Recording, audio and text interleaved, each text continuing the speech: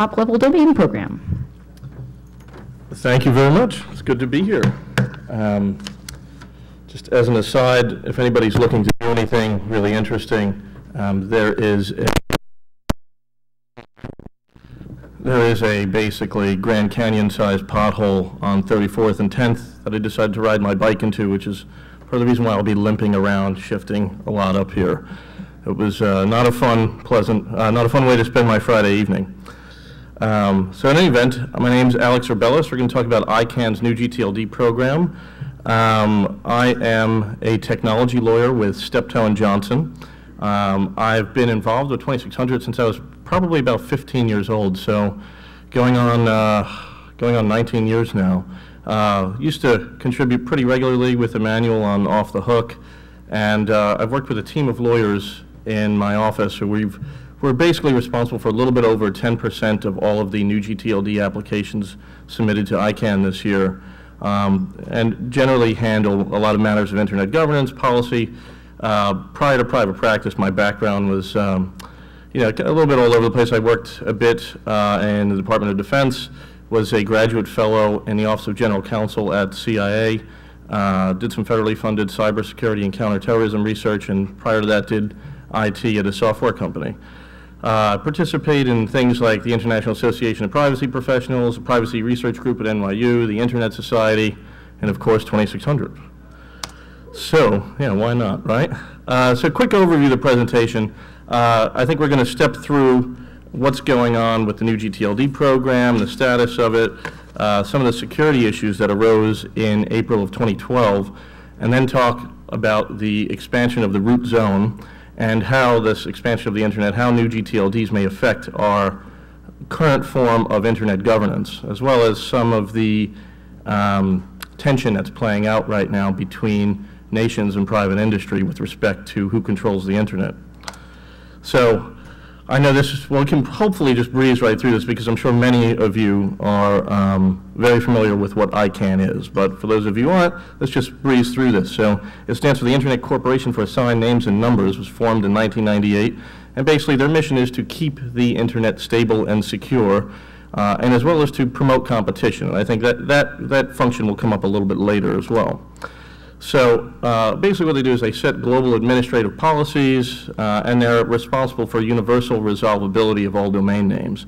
And they do this by maintaining contracts with their internet registries, run accreditation systems for registrars, um, and have a compliance department that seems woefully inadequate for what's ahead. Uh, Then, uh, basically, just to get our terms straight, a registry is basically the database of domains that uh, uh, belong to a particular top-level domain. The registrar is that which sells the domains, and the registrant is that person who's buying the domain. Uh, I think we can almost breeze through this. So to give you a, a quick look of, of what we're really talking about here, the first or top level is the spot to the right of the dot. Here with this address, the .org. The second level, second level domain would be the ICANN, and the third level is the meetings aspect of it. Now, what's historic about ICANN's new GTLD program is that this is the first time ever that the space to the right of the dot can be customizable. Uh, individual, per, actual individual entities, uh, persons weren't allowed to apply. You had to apply through some kind of business organization or entity. Uh, so you could own to the right of the dot now. You could have your brand, you could have uh, your company name, you could have a generic name, and then you could basically regulate to the left of the dot, your second level domains. Um, But the second level domain space is still very, very highly regulated by ICANN. What's kind of the Wild West right now is the third level, the meetings dot space. And I think that uh, we're going to see that, we're going to see ICANN trying to rein that uh, under control over the next couple of years as well, because that may prove to be a very fertile source for cyber squatting and counterfeiting, you know, as it has been already.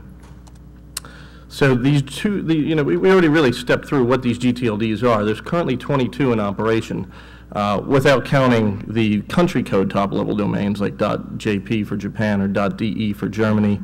Uh, and this application process is already underway for people to um, purchase their own top-level domains to the right. And one of the other interesting aspects of this is, so you'll, you'll start to see, once these are delegated and entered into the root, you're going to start seeing IDNs, or internationalized domain names. So dot, whatever can be in, in Arabic, it can be in Cyrillic, it can be in Russian, Uh, This is already possible at the top, at the second level and some, some top-level domains, but you're going to start to see a lot uh, in the third level. So just to give you a quick recap on this, applying for and buying a top-level domain is not like going to GoDaddy and trying to register a second-level domain. Every single application cost $185,000 to submit. Uh, All that money went to ICANN. Um, The period was only open for about three months. Uh, It was years in the making. The application window opened on January 12th. Uh, You had to submit answers through this TAS system. Uh, It's called the the new GTLD application system, which ran through Citrix. Um, It was kind of a silly system, and and we'll get to a security glitch with that in a- in a second.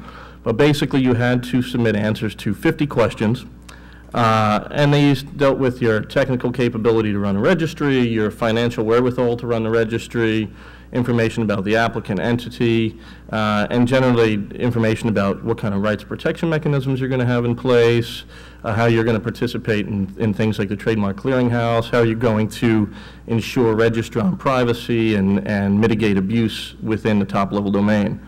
So this was supposed to be open for a period of three months. It was supposed to close April 13th.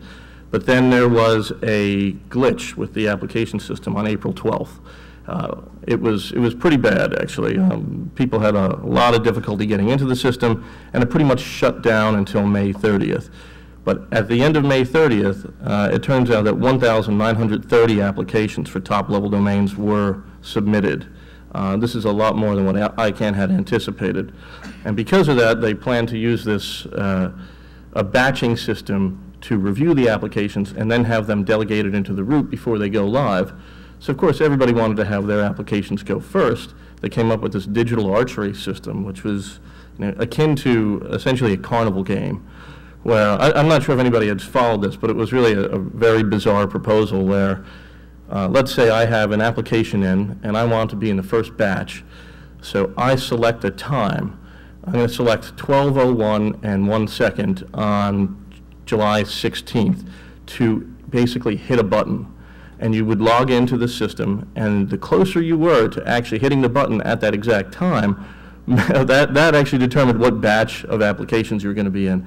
So when I say carnival game, it really was like a carnival game with a $185,000 initial investment into it. I mean, it's, it was a little silly. It was a little silly. Uh, ICANN just recently, over the last couple of weeks, concluded its meeting in Prague, and during that meeting, they dispensed with digital archery entirely. And nobody has any idea what they're going to replace it with, so batching is still a, a big consideration in how they're going to handle this number of applications. So the, pro, the program is subject to change. It's a bit in flux right now, uh, as I say here. Um, So initial evaluation of these applications was actually set to occur uh, three days ago, and I think it did occur on time. And on June 13th, that was a very important day because that was when all the non-confidential portions of the applications were revealed. That's when you could see the 1,930 applications of uh, applied for strings. It also kicked off this uh, public comment period and the GAC early warning. Now, the, the GAC is um, the Governmental Advisory Committee. We're going to get into them in, in just a little bit. So the public comment period is running right now, and it closes on, I think it's uh, midnight UTC, August 12th. So basically, any one of us can submit any comments on any new GTLD applications right now. Uh, There's no standing requirements. And we're- starting to see, you know, the the usual, there's, there's, you know, a little bit of lunacy in some of the public comments that are being submitted, but I think what you're going to see is there's going to be a lot of infighting between applicants, and I think public comments, which can spur somebody called the independent objector who can raise a formal objection later, those are- could be instrumental in deterring your competitors' applications from going forward. So I think we're going to see a lot of big corporations and a lot of people interested in, in deterring other strings from being delegated to use these public comment processes. But there's really no incentive to do it until literally the last day, because why give your opponent the opportunity to respond? So I think come August 10th and 11th, we're going to start to see uh, the public comment period really kick up. Um, To give you a little bit of a breakdown, like we said, 1,930 applications, uh, 1,409 applied for strings through 1,155 entities. And to break this down further, about 53% of these were dot generic terms, like dot music, dot art, dot app. Dot app was, is actually the most highly contested, And then 34% of these are, are dot brands, uh, you know, Yahoo, Google, dot McDonald's. Um, and those, you're not going to be able to register in the second level. Those are going to be what's, what's known as a closed registry. But for the dot generics, their business model is essentially going to be selling top-level domains. Then you had community applications, which, let's say you have, like there is for dot insurance, uh, several different applicants applying for dot insurance right now. Um, if you're, if you represent the insurance community, you can knock out the other applicants. So their investment can be just basically flushed down the toilet if you can meet these community priority criteria. And uh, dot insurance is, is one of, one application that's undergoing that right now. And then 3% were geographic names. Uh, things like dot .nyc, dot .dubai, dot .london. Um, you didn't really see too much participation from developing nations, despite the fact that ICANN was really pushing this and, and offered some financial assistance. Uh, you saw almost nothing coming from Africa, with the exception of South, South Africa. Uh, most of the applications came from North America and Europe. Uh, and if you multiply 1930 times 185,000, you figure out that ICANN now has $357 million sitting in its bank accounts. Um, and really only uh, a little more than half of that is, is accounted for in terms of expenses. So there's supposed to be an excess of $160 million coming from this program. It's a lot of money for a not-for-profit corporation to, to take in in just a few days. um, so we also see though, you know, that there wasn't, there weren't any applications for things like dot .hack, dot .freak. We didn't see .2600. Um, some of the more interesting strings, I think, were like .wtf and .sucks, which actually had three applications. Uh, so they're going to go into string contention. We're going to, and I think that could be very interesting. But what what troubled me, and I think maybe we can change this over the next couple of years. I mean, it's a gigantic investment, and nobody knew how this was going to pan out. But I think we should maybe get together some hacker spaces, get together some resources, maybe we should put in an application for .hack or .freak, because that would ensure that, as I talk about later on, our voices continue to be heard in ICANN's major stakeholder groups, one of which, uh, the largest and, and arguably most powerful, will, will probably come to be the registry stakeholders group. And if anybody can run an internet registry, I think it would be people like us. So let's think about that in the future. Sure, I can stop, absolutely.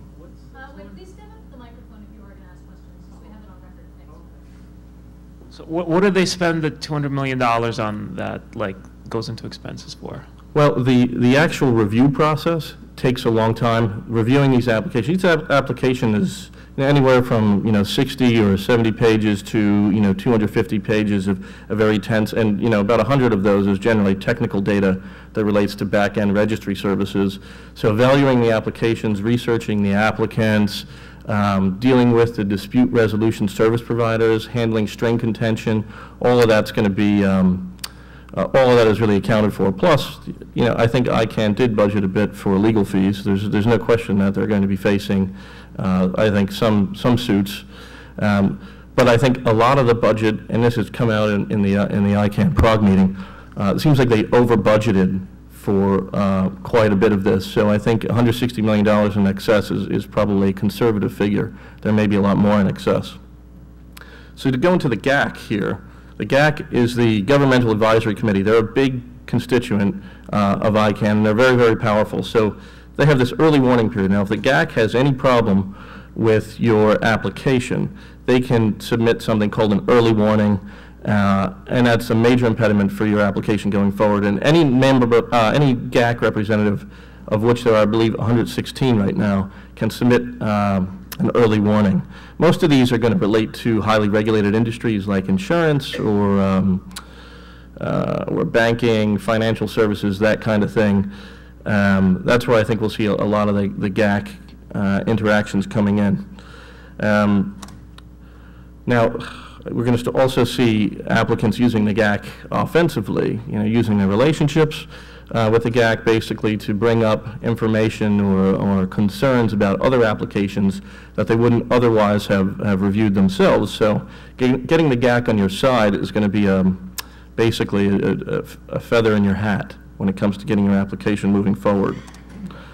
So the advice can take three forms, consensus, non-consensus, and remediation. Consensus advice, that's the worst kind that you could have. Your application probably is not going to be approved.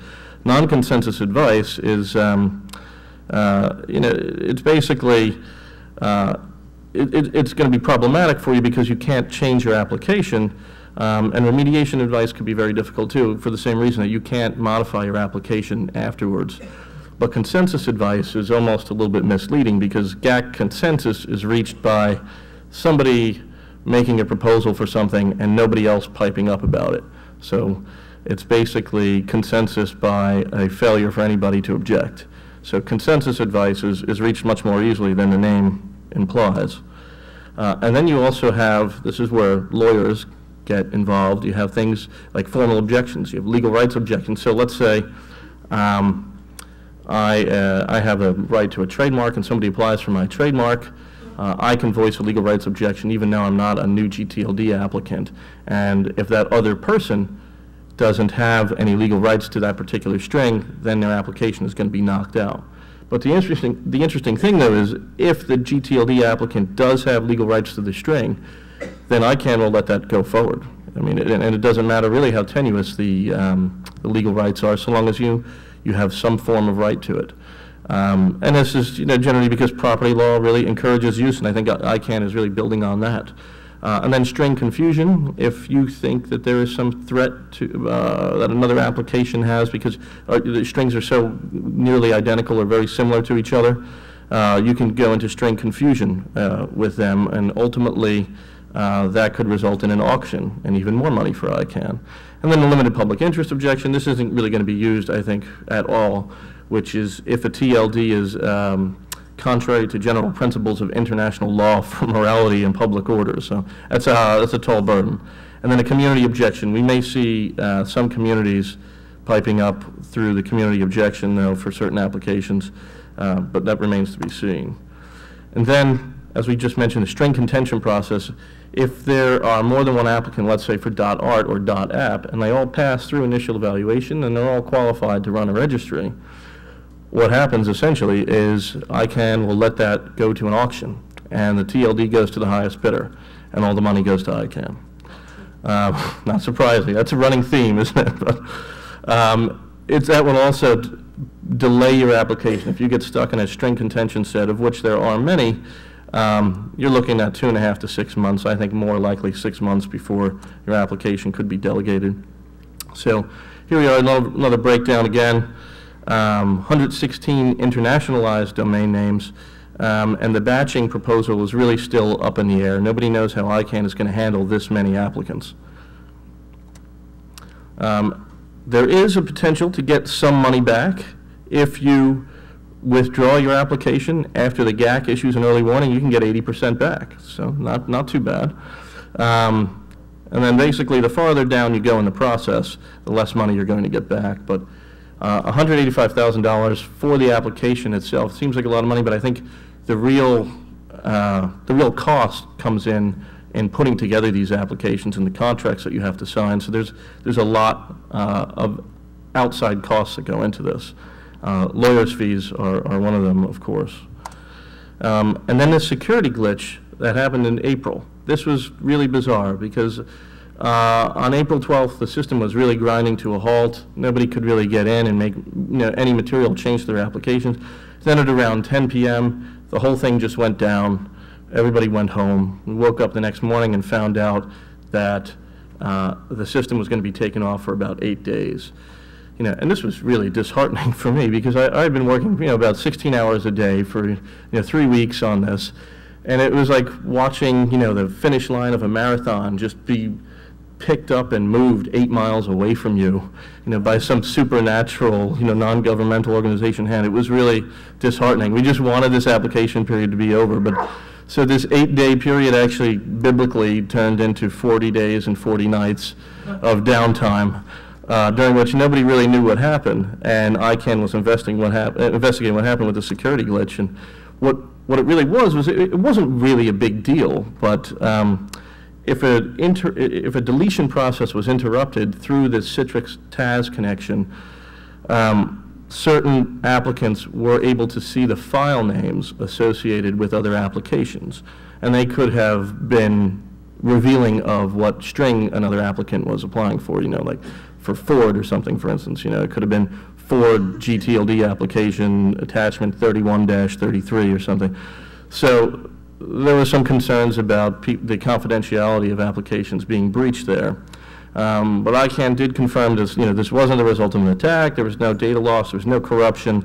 They contacted all of the applicants whose file names were, were compromised. They, they pored over the log files, I think very thoroughly. Um, But more importantly, this kind of made ICANN look really silly. Um, The corporation that is in charge of the security and stability of the internet couldn't even maintain its own application system. So there was, there was a lot of doubting, I think, that came along with that, but things have gotten back on track. Um, And now some of the issues that we're facing here are, you know, is this expansion going to be at all problematic to the root zone of the internet? Um, You know, are there more security issues coming down the pipe here? So ICANN has said basically that, you know, we're not going to add more than 1,000 new GTLDs to the root. We're not going to allow 1,000 GTLDs to go live uh, in, in the year.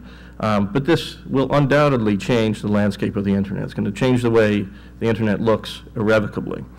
Um, And for years now, they've been debating on whether or not this expansion of the root zone could actually cause some kind of security and stability concern. So let's back up a quick second. I'm sure a lot of you know what the DNS root is, but maybe some of us don't, we'll step through it pretty quickly. So it's basically, it's the top-level DNS zone in, in, in a namespace. It- The DNS root zone is really the, it's the key component of the system that every application um, that uses the internet that uses. And it- essentially what it is, is a big list of authoritative servers that make the internet run. Um, And everybody uses it. So who runs this, this gigantic list? Who manages this? There's, there's really four major players. Um, You have the NTIA, and you'll see there, there's a lot of uh, U.S. government involvement in that. That will become relevant later in terms of internet governance. So you have the NTIA, the National Telecommunications and Information Administration. Uh, They operate as an agency under the Department of Commerce, and they really have the ultimate authority over the root and always have. Uh, IANA, the Internet Assigned Numbers Authority, uh, manages the zone file and uh, interacts with the NTIA on basically changes that are proposed to be made to the root. And IANA has historically always been associated with ICANN as well, and just a few weeks ago, um, there was a, uh, well, the the Department of Commerce rehanded over the contract for the IANA function to ICANN. And then VeriSign, which operates as a root zone maintainer, and then dis- dispersed throughout the world, you have 12 different root server operators. And, um, you know, notably, again, you see a lot of U.S. involvement here. You see VeriSign, NASA, the U.S. Army, Department of Defense, um, and I believe, uh, well, ICANN, of course, and the uh, University of Maryland. Was there a question in the back? Oh, no, okay, certainly. Uh, This is the dispersion of root servers from rootservers.org. And you'll see, you know, they're, they're really clustered mainly around Europe um, and North America, quite a few in South America. Um, Siberia just doesn't really, you know, they just don't register on the map over there in terms of root servers, but, you know, maybe, maybe in a few years down the road. Um, Also, Australia has, uh, there's a lot of, the L root servers are run by ICANN down there, and Australia has actually become, uh, through several different private organizations, I think quite a major player in the ICANN world. So the benefits of diversity of having these root servers all over the world are essentially, well, they're not going to be too easily to take down in a DDoS attack, and they run all different types of software on all different types of platforms. So one security bug is not going to um, take down the root servers that were geographically dispersed. Um, We've seen some prior expansions of the root zone, but nothing this dramatic. Every time a new top-level domain is added, the root zone changes a little bit, and test internationalized domain names were, uh, were added in 2007, and in 2010, you saw um, IDNs for Egypt, I believe it's Saudi Arabia and the United Arab Emirates going, going live. Um, Also, with IPv6 deployment, we're seeing more and more data being put into the root zone, and DNSSEC, which is used to sign the root zone file. Uh, And so far, you know, this is just added text. Nothing, nothing has caused a major impact on the root. Nonetheless, um, one of ICANN's committees, the uh, root, well, a study team, I guess, the root s- scaling study team, stated a few years ago, well, you know, it could absorb, the root should or could absorb a small number of annualized uh, TLDs together with introducing DNSSEC into the root. Um, and a lot of this stemmed around concerns from IDNs, but it's difficult to square this, this hesitation of, of adding things to the root with, with ICANN's full steam ahead mentality of adding 1,000 to them. So, um, back to the main issue, really. I mean, does altering the size of the root have a, a- an effect, an adverse effect on security and stability? Um, it's the aggregate effect, really, that is, is what the dramatic change to the root will be. Adding all the IPv6, DNSSEC, IDNs, plus arguably 1,000 TLDs a year into the root. Um, this could impact the root servers, well, this could impact root servers really in, in two different ways. And uh, ICANN has identified two issues, uh, root server operations and an impact on provisioning. So the root ser- server operations are really your ability to respond to queries. And provisioning pertains to the ability to receive and distribute new root zone files. Um, and ICANN says, no, there's really, you know, we, we haven't seen any problems with this whatsoever. Um, they actually came out with a recent study, which is, I think, very definitive, uh, in June 2012, just, uh, just last month. But the risk to root servers really is, are they going to lose their ability to respond to queries? And if the root servers can't respond to DNS queries, well, that's going to cause resolution to ultimately fail. And it would be a slow process because a lot of people have this information cached, but th- that cache really only lasts for about 48 hours. So ICANN's analysis was, well, you know, performance of the root servers has nothing to do with how many records are in top level, I'm sorry, are, are in the root zone itself. It's predicated on the number of queries a, um, a root zone server has to respond to. And the total number of internet users is what determines the number of queries. So an increase in number of TLDs does not necessarily equate to an increase in the number of internet users. Furthermore, the rate of change into the root would be very slow because we're not going to just delegate everything right at once. Um, we're going to do 1,000 a year, plus we have all this system diversity and operator coordination, and so everything should be fine. We can handle 1,000 new TLDs, that's what ICANN said. But, you know, I, I think that there are some major issues that have not yet been resolved because, uh, all right, so first let's talk about query rates. Well, what about internet users? What about adding internet exchange points? I mean, this has been a major uh, project for the Internet Society and, and ICANN as well in terms of global connectivity. So if we add more connectivity to developing nations and if we add more local content, that's one of the major problems with developing nations is even if they have connectivity, they're not necessarily going to have local content. But you know, these internationalized domain names could perhaps maybe fix that or give an incentive for people to develop local content for areas like Botswana. So we're going to possibly see TLDs having an effect on queries. And if internet exchange points are added throughout the world, then we're definitely going to see an increase in, in connectivity. And whether or not the root servers can respond to that increase, uh, I haven't seen data on that. Also, we talked about the carnival game with digital archery and um, the uh, batching proposals for ICANN, but we don't really know, and ICANN hasn't come out and said yet, how many they're going to implement at a time. They would like it to be a kind of steady and, and slow process, but we just don't know. I mean, here you have the situation where ICANN's policy uh, recommendations could really have a, a technical uh, impact on the way in which this is implemented in root servers. Um, and then also think about if you have, if you do add a whole bunch of new root servers at the same, I'm sorry, new TLDs into the root at the same time, none of that information is going to be cached. So if you have 1,000 new TLDs just going live, then the root servers, the day in which they go live, are going to have to respond to a hell of a lot more queries than they're used to. And can we accommodate this? I mean, we, we haven't seen, at least I haven't seen anything on that. And the system diversity factor, well, that really only relates to combating something like a DDoS attack and uh, security glitches that are you know, inherent to software. But what if misinformation was propagated in a root zone file? Then that's going to affect the internet generally.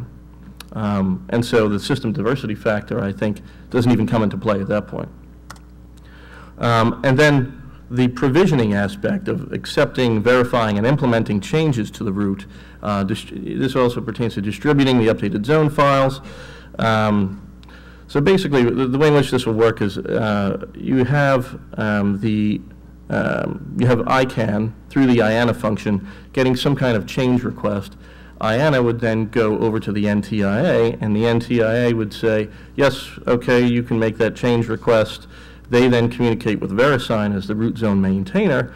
They make the change to the actual root zone file, sign it with DNSSEC, and then send it out to all the RSOs, to all the root server operators, and then they have to uh, distribute that, disseminate it internally to make sure all their servers are up to date and have the most uh, readily available root server information for, for DNS lookups.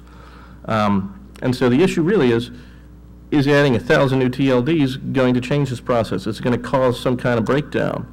And ICANN came back and said, no, no, no, no, there's, there's no threat to stability here. Um, we can handle this because, uh, you know, we have the ability to scale our operations. Um, uh, Bizarrely, they also said that um, the evaluation of new GTLD applications was really the largest task, and that's already underway. But that has absolutely nothing to do with root server operations, uh, in my opinion. I mean, unless maybe what they were considering was, well, we want to prevent uh, inadequate registries from um, having access to the root whatsoever. But, but the, the new GTLD application evaluations really just doesn't seem, seem relevant to me. And then the propagation of zone files occurs right now twice a day. And uh, ICANN believes that that number is not going to change. And so really, in terms of distribution, they said, no, this really shouldn't be too much of a problem. So uh, also that dissemination from these root, from the root zone maintainer, VeriSign, to the operators all throughout the world is a, is a pretty well-established process. Um, But there's other issues that haven't been addressed. For instance, the IANA staff, when they get the first request to delegate a new TLD, um, they're going to be required to submit a report to the NTIA uh, before any new TLD gets delegated. Now, how are they going to handle a thousand reports? I mean, how, how, what even goes into these reports? Do they have the staffing to do this? Is this going to cause a backlog? Um, and more importantly, I think, in terms of governance issues, um, are they going to be making any policy decisions about what can and what can't go into a TLD, uh, into the root zone? And for instance, I mean, .wtf, if the mission and purpose, if people at IANA don't necessarily agree with that, or dot .sucks, they don't think that the internet would benefit from that, or if in a dot hack or dot freak, they would consider, you know, to be anathema to ICANN's principles or the IANA function. Do they have the right to stop that? That's, that would be a really big problem. Um, and then change requests also. I mean, ICANN is also assuming that change requests are going to come in, changes to the root zone from uh, registries and TLD operators, usually only on average one per year, you know, so it's not too burdensome. But I think, you know, ICANN isn't used to working with major corporate clients, and when 34% of the applicants were dot brand uh, applications, uh, I think they, they may see a major change in the type of accountability that is expected of them. I mean, having dealt with lots and lots of corporate clients, they're, they can be very demanding people. They expect your time and they expect a quick turnaround. Um, does ICANN have the capacity to basically serve uh, the world's corporations in terms of root zone requests? And does this change the amount of times that the root zone file has to be propagated? And I think even more importantly, um, ICANN's security assessments related primarily to stability, the stability of the provisioning system and the stability of the root server operations, but not necessarily about security in the way in which people like you and I would think about this. Um, you know, we have to think about the system as a whole, and the real fundamental question here is, can the DNS system be compromised by insecurities in the provisioning system? So, like we mentioned before, this involves IANA communicating to the, to the U.S. Department of Commerce via the NTIA, the Department of Commerce communicating with VeriSign, VeriSign then communicating with the root server operators, and interjected into the mix of this are, per year, 1,000 new top-level domain operators. Now, can any of these communications between any of these parties be compromised? Can they be altered? Can they be spoofed? Uh, we need more details, I think, about this process to really uh, make a, a serious assessment of whether this amount of change to the root zone could have a negative impact on the functioning of the domain name system.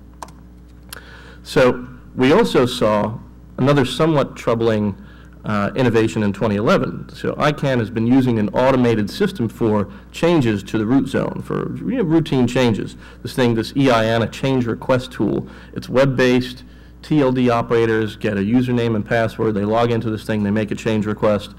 Um, and then IANA brings it to NTIA and we go down the process again. Um, but what I don't understand is, you know, so is, are all TLD operators now going to have access to this EIANA change request? I mean, that's going to be a big problem. I mean, if, you, if you're giving out a thousand usernames and passwords to this thing per year, it's going to be compromised, you know? Uh, corporate America hasn't had the greatest track record when it comes to securing usernames and passwords. Um, but not, not, none of us do, I guess, really. But um, so the other issue too is if this EIANA system becomes unavailable, then they're going to go back to this kind of normal process of you know somebody getting on the phone and, and via phone and fax and email making a change request. I mean, there's a gigantic potential for social engineering uh, root zone changes if we really saw that. I mean, maybe that's maybe that's what we'll do in two years with Emmanuel on, uh, the panel. I'm not advocating that, but uh, um, so let's go back to conclusions here for a second. I think that um, in terms of operations and provisioning, ICANN was probably right. Uh, I don't think there is going to be a major adverse effect to the domain name system uh, in that sense. Uh, there probably is the capacity to handle these changes, um, but what we don't know is, you know, how greater, uh, greater extent of internet connectivity and internet exchange points being added throughout the world, how those servers could respond to additional queries. You know, we're not sure about that. We need more information about how these TLDs are going to be delegated. Uh, we need more information about these change requests and how they're going to handle changes from corporate clients and about how the communicative process between these three or four different agencies and, uh, and players in the root zone are, are actually going to be secured. So this is probably more a function of, of ICANN's committee structure than anything else because um, you know, there are committees on basically everything at ICANN and they have a very, very narrow focus. And at this point, it seems like their real focus was stability, and I think that um, you know, it would be up to people like us, maybe even through the public comment process, to make sure that ICANN really has a handle on the security within the process as well. and this is going to have uh, a major effect on how the internet is governed. Um, and, and when we talk about internet governance, what are we really talking about? We're talking about the coordination of the technical infrastructure and the policy that defines the way in which that infrastructure works and interacts. And so with 1,930 different applications, you know, the internet's definitely going to look a lot different, but you also have a lot more money at stake and a lot more players. And what we have right now through ICANN is this multi-stakeholder process. And I mean, by definition, the more stakeholders you add to a multi-stakeholder process, the more change is going to be affected. So really, I mean, who are the stakeholders right now? Um, I mean, ICANN is full of, of acronyms, GNSO, GAC, CCNSO. I mean, they're, they're all over the place. The, you know, SSAC, um, absolutely, they're, they're all over. They're all over. So, uh, but the people that have historically been most active in ICANN are people who, you know, whose bottom line it affects. So you have the registries, you have the registrars, you have the brands, and internet-based businesses, search engines. You know, those are the guys that are that have been and are the major players in ICANNs. And uh, these are the players that they, they have the means to send people to the ICANN meetings that occur throughout the world. They have the means to follow the the somewhat slow-moving policy development process that ICANN has concocted. They have the means to submit comments and, and really participate in the process. So their interest is always accounted for when there's shifts in internet policy. Um, and what's very significant in terms of the perspective of the rest of the world is that, well, this is really, a, the interests that are accounted for are, interests of the private sector. And you know, maybe there's good reason for this, perhaps, you know, because internet innovation and economic growth, well, they, they've always really gone hand in hand. And as we noted earlier, one of ICANN's core objectives is to promote competition. So um, it's, no, it should come as really no surprise that the rest of the world has seen ICANN as really a, a, a tool for business and, and the U.S. government. So these changing stakeholders, who are they going to be? They're going to be these new registries. There's going to be basically um, the thousands of new registry operators who own little bits of the internet. Um, and these are dot brands, they're going to be, you know, industries, they're going to be communities, and we also saw applications from a very large, for a large number of just dot generic terms of people trying to, to snatch up internet real estate. Uh, you saw this, this corporation called Donuts Inc., which kind of came out of nowhere. They filed 307 GTLD applications. It's a $56.8 million investment. Next on the line was Google, who filed uh, 101 applications.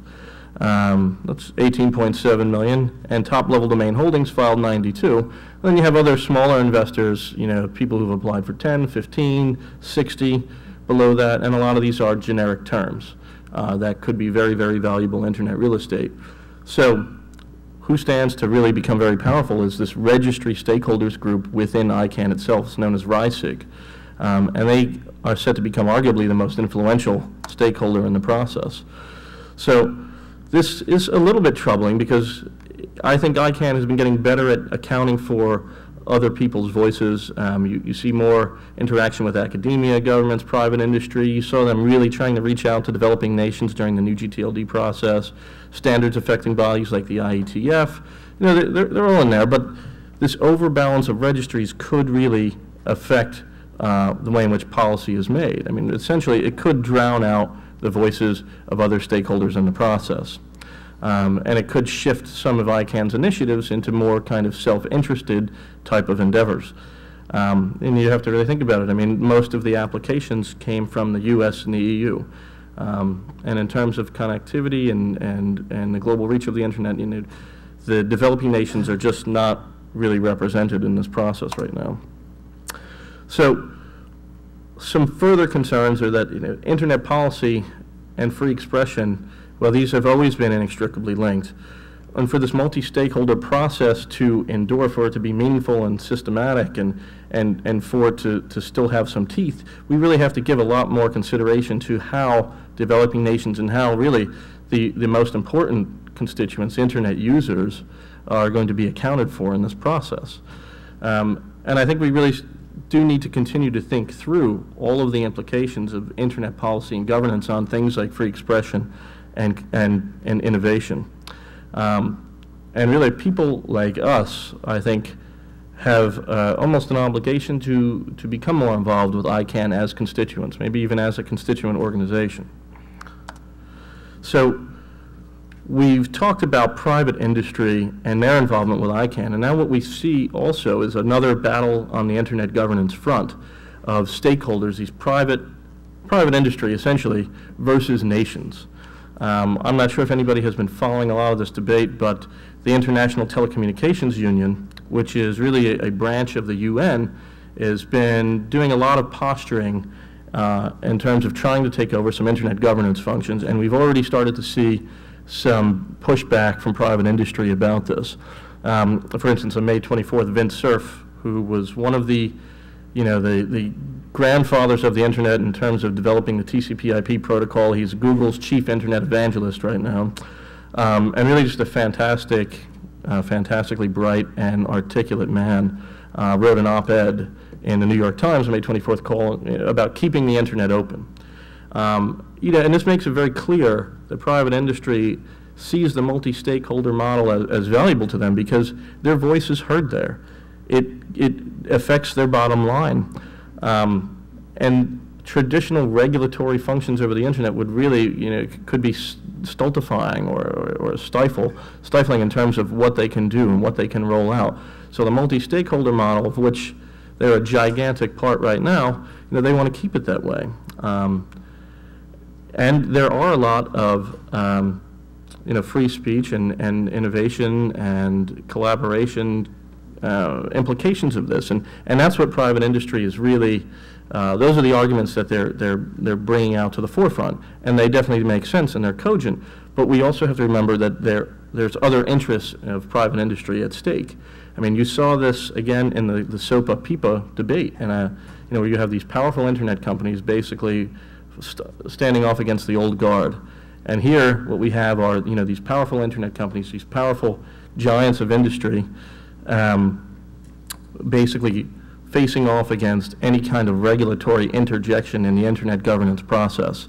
And that's, um, you know, it's very telling, and I think it's something that we're going to continue to see so long as internet governance is an area that's not really very, very well defined, it continues to be a gray area. So a little background on the ITU, which is somewhat interesting, was actually established way back in the 19th century in 1865 to facilitate amendments to something called the International Telegraph Convention. In 1947, it became a specialized agency of the UN, and, and since 2003, they've been posturing to get their hands involved in internet governance through something called the World Summit on the Information Society. The first meeting was in Geneva, 2003, and then Tunis in 2005. Um, the interesting thing, though, is that you know all of these negotiations with the ITU, the only people allowed um, into the process are nation states. There's no other stakeholders.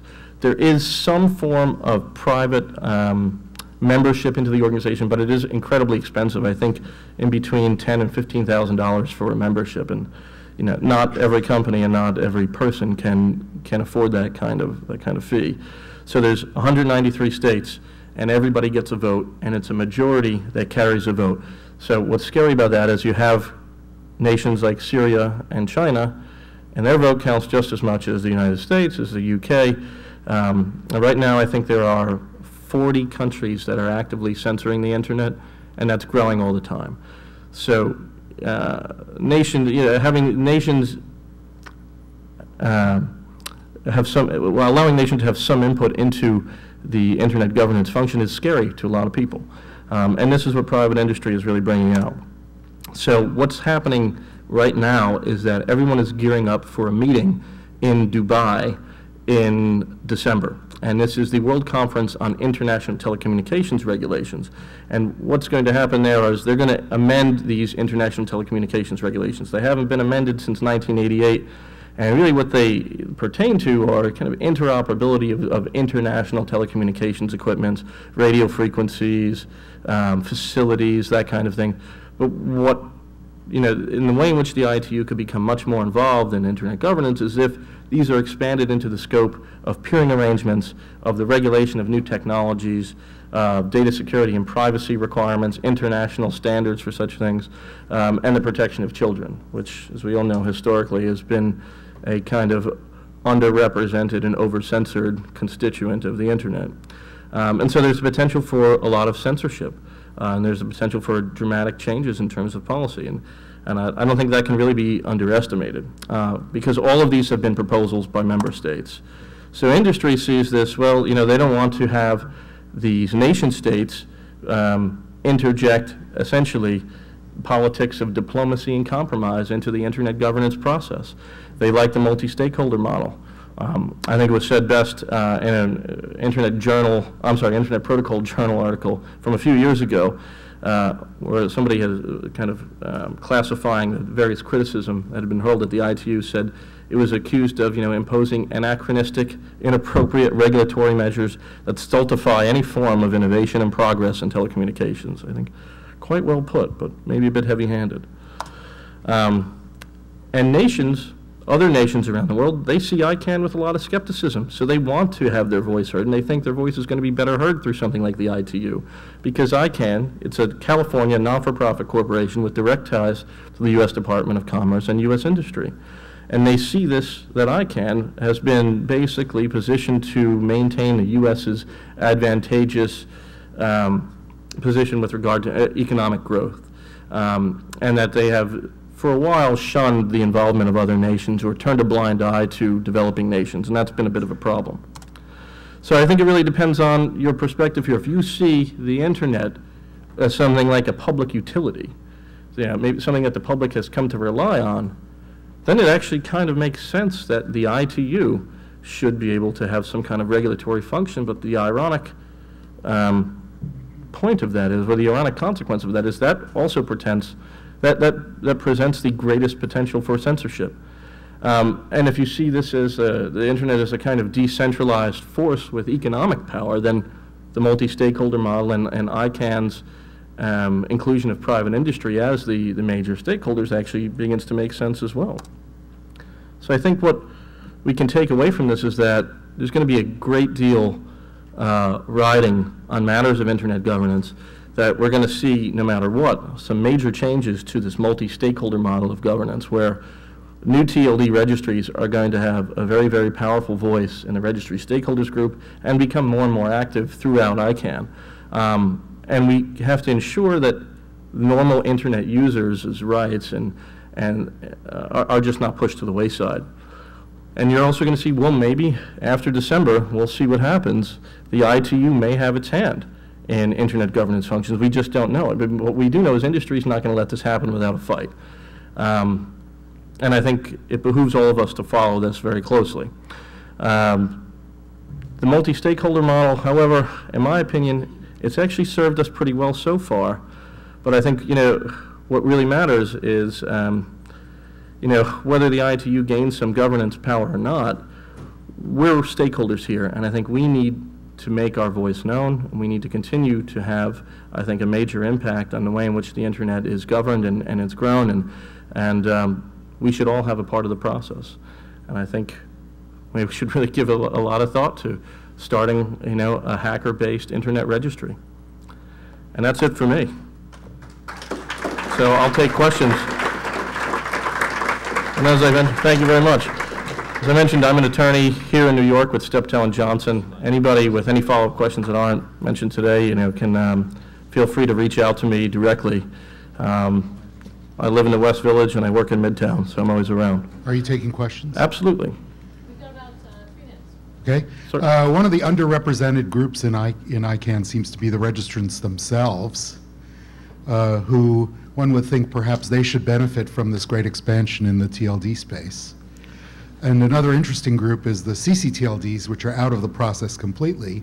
So, you know, any sort of risk to the domain name system as a whole is often not in the GTLDs, the .coms and .mils and .nets, which are uh, regulated by ICANN, but in the .cn and .ie and those. Yeah. So I would appreciate your comments on that. Another question is whether what the ITU is really seeking is replacing the NTIA to sign the root Yeah. Because the NTIA has been political in its choice of uh, delaying to sign certain root updates like North Korea and Palestine, is my understanding. Absolutely. To go to your first question, I, I think I just agree with you. Registrants uh, do need to have a greater voice. Absolutely. Um, with regard to the CCTLD operators, the country code top-level domain operators, it's interesting. They're not really a part of the process, but they do have the right to object to other uh, domain names being delegated if they believe, you know, a GTLD application is, is confusingly similar to their own extension. They have the right to object to that and essentially knock out the application from the process. So the extent to which they are going to become major players in the, uh, in the GTLD application process is yet to be seen. We'll probably see them stepping up to the plate in January at the end of the objection period. Um, And with regard to um, the ITU replacing the NTIA, you're probably absolutely right about that. No. Next question? Uh, Yes. Uh, So uh, my former employer had about 17,000 mostly parked domains to protect their trademark portfolio. Hmm. Uh, And the expansion of the GTLDs feels to me from that perspective to be a nice organized shakedown on similar uh, uh, trademark holders to get them to register yet more of these domains in a hundred or thousand additional namespaces. Uh, and the fact that ICANN is largely uh, sort of feels like a cabal of registries or uh, registrar, uh, registrars, I'm sorry, uh, sort of makes this sort of one take a fairly cynical view of the whole process. Yes. Uh, what's your take on sort of ICANN as the sort of shakedown operator? It's, it's been a major uh, criticism of the program is that all these defensive registrations are going to be, have to m- essentially be multiplied times the number of dot generic TLDs there are in existence. And that's going to cause, uh, you know, major brands from, to spend a hell of a lot more money than they would otherwise have. But they, to combat that perception, they've developed certain rights protection mechanisms that are inherent to the process now. ICANN is in the process of developing something called the Trademark Clearinghouse, by which um, uh, individual, any, any trademark owner can submit their mark to the Trademark Clearinghouse, and if you are going to register a domain within the TLD, you're going to get a notice if there's a direct hit that's a match with that particular string. So then the, um, if you go forward with it, the owner of the trademark would then get a notice that said, so-and-so registered this domain, and then they could go forward with some kind of UDRP or URS process by which they either disable the domain or transfer it back to them if they believe that they're, they have to. But it doesn't negate the effect of- that they do still have to register these defensive registrations. And that's really more of a function of, of the history of trademark law and the obligations for trademark holders to enforce their rights. And, but I, we're seeing that shift as well. So I think when there's a shift in, in the law in which, uh, that creates this obligation, then the defensive registrations will probably decrease as well. And I think, uh, I think we've run out. I'm so sorry, but I'm, I'm happy to take questions afterwards. Thanks, everyone, for listening.